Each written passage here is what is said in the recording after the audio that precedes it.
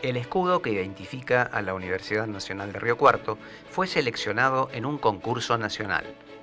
Augusto Pedro Zafores, flamante secretario nombrado por el general Perón al asumir su tercera presidencia en 1973, es quien se junta con dibujantes de la época para definir la figura del máximo emblema universitario. Así vemos que la guarda indigenista representa la tradición. Las iniciales sobre el cielo simbolizan el logro de hombres y mujeres.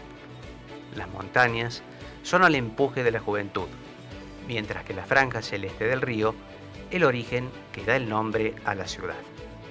Finalmente, el lema creer crear, crecer, alude al desarrollo de una nación con dignidad y en libertad.